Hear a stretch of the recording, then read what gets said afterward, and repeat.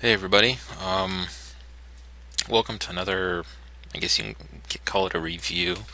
Um, yesterday, I think, was it yesterday or maybe a day before, Comodo um, finally released uh, the final version. They've been working hard on this since, I think, about June. Um, of Comodo Backup. This is build 3.0, uh, uh, version 3.0, build 96. Uh, you can now get it on, uh, I think the website is backup.comodo.com. And you can go down there and download a copy of it. it it's 100% uh, free. Um, they do offer online storage, but that's uh, something you have to pay for, of course. Um, like anything out there, online storage is tends to be kind of actually pretty expensive. Um, of course, there's other places where you can get unlimited uh, online storage, but they offer their own too. So let me take you to the website here.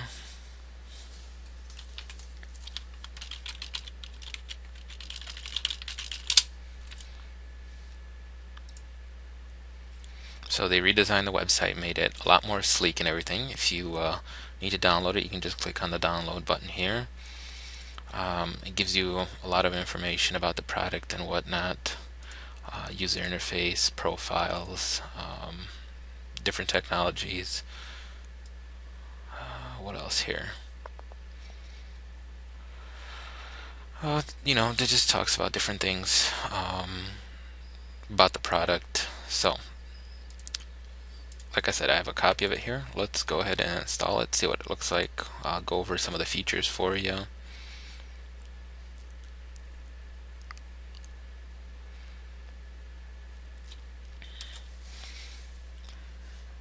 There's nothing really to test here per se, um, as there is in some other programs. Um, so they do have a bunch of languages. Um, I forgot to show you that, but they do have a lot, a lot of different languages too. So that's one nice thing. So we're going to install the program here. And I'm going to pause the video while this is installing. Okay, so if you want to sign up, it's optional. If you don't, that's fine. You can just hit next here. Now uh, reboot the computer because it does install a service. So I will be right back when the computer's done rebooting. Okay, so computer's restarted here and let's open up the user interface. This is of course the uh, new style interface just like Comodo has um, been uh, building and this is the homepage, if you want to call it that. You have different uh, features up here. You have your settings features. You can password protect your settings here. Um, you can integrate right click into it uh, if you want to back something up. Um, check for updates. You can check for updates too. Uh, it's got an about, of course. It has a very extensive uh, help file, which is online. Um, I highly recommend this because a lot of uh, backup software tends to be a little bit complicated uh, or some of the things you know you might not understand how it works specifically. So I recommend that if you have any problems go to this help documentation. Somebody probably spent a lot of time writing this so it's probably some kind of intern or something you know. Um, it's usually how it is. But um, you have a lot of very well thought out uh, you know documents and things here so you can set it up uh, without you know um, worrying about having problems. So uh, you do have a live uh, PC support if you bought that. Um, you can easily get that. It sees it's recommending that uh, uh, they recommend to install Comodo Program Manager. That's the un uninstall utility that they they're working on. Um, you can easily ignore that. So if you go to the backup tab here, it's already got some pre-built profiles. Uh, right here you got a My Document backup and uh, it backs up My Documents folder and you can decide uh, where you back that up. Um, and it backs it up as a .cbu file which is Comodo backup file. You can schedule it or you can do it now. It's got a media backup it's got a user backup which uh, backs up your uh, your user profile, so it backs up the whole folder. You can also do an online backup, a sync backup, uh, browse the data, mail, uh, or game saves. Online backup, if you click on that, you, you need to register, of course, and it takes you to um, their online backup registration form, and you can uh, decide on how much space you want to buy. Um, so if you want, you know, 500 gigs, uh, you know, 10 gigs, whatever, you know, 10 gigs for $50 for a year is actually not a bad price. Um, you know, depending on what your needs are, if you're a business or something and you need 500, then, you know, $2,500 might be actually a very reasonable price. So you can do all your stuff there and, and get signed up if you want to. Uh, what else here? Oh, if you click the little down tab here, you can make your own backup profile on what you want. So you can pick up, you can back up your whole partition um, and disk and everything. You can uh, clone the disk. You can back up everything as a CBU file. Files and directories. You can pick whatever you want. Registry. You can back that up. Uh, registry entries. You can pick specific ones your user folder here.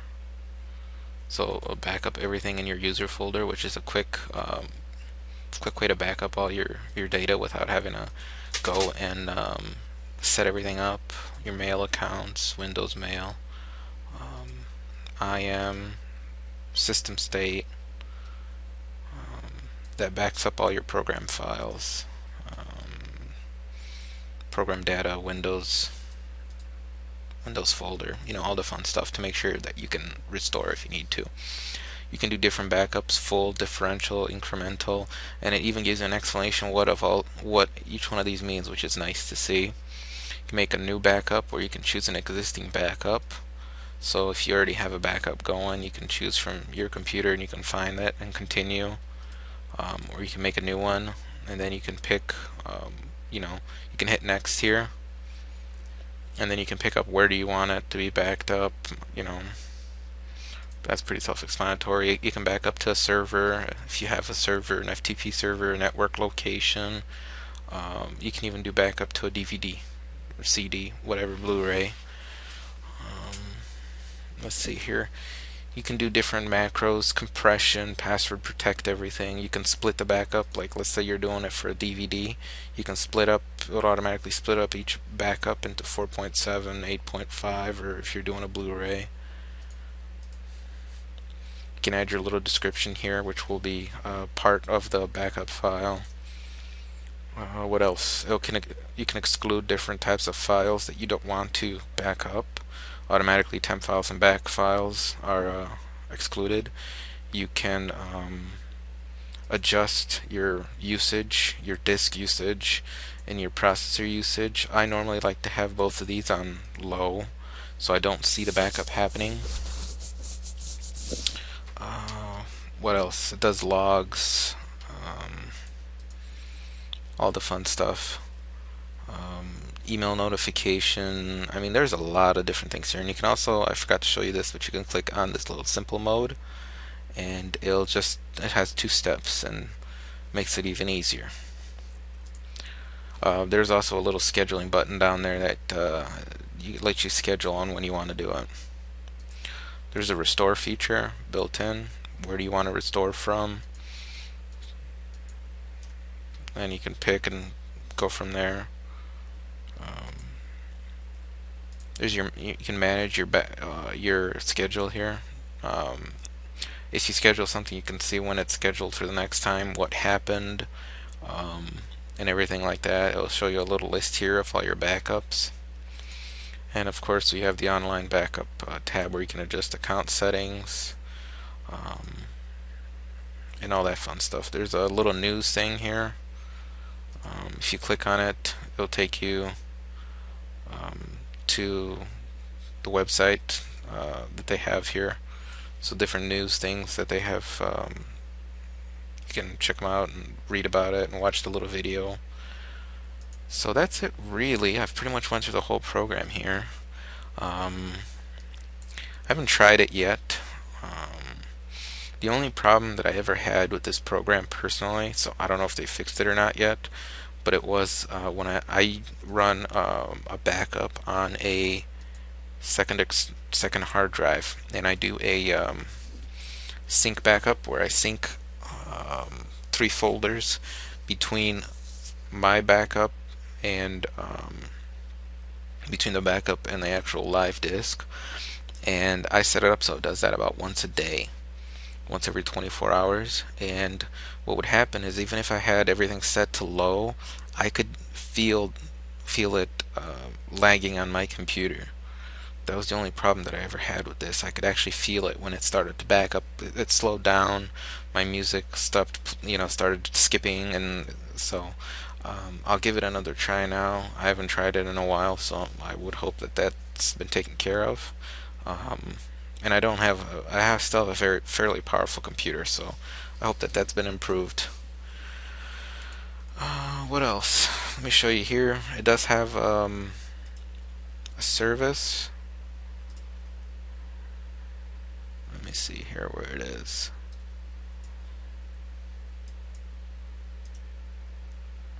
I think, I think it's either that one or no, synchronization service. There's one, so it's like half a meg. Really not affecting anything, really. Um, that's just running all the time, so if you have synchronization set up, it does it automatically in the background and you don't have to open up um, the program for it to do it, or, or it doesn't have to open up the program. It can just do your synchronization. So that's it, uh, really. Hope you guys enjoyed it. Um, definitely give it a try. Lots of features. Um, I mean, compared to some of the other backup programs out there, um, and also it's uh, it's free, so you don't have much to lose. You know, if you don't like it, you don't like it. If you like it, you just got a great program for free that works great. So uh, that's it on this review. Um, I'm gonna render it and upload it right now. So uh, I'll talk to everybody later. Take care.